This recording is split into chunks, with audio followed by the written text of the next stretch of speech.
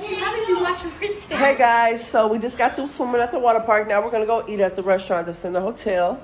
Um, yeah, that's what we're doing. So we're just kind of chilling out. Here's our snacks that we didn't even eat, but we got one more night here, so hopefully we'll eat them uh, tonight. So here's everybody.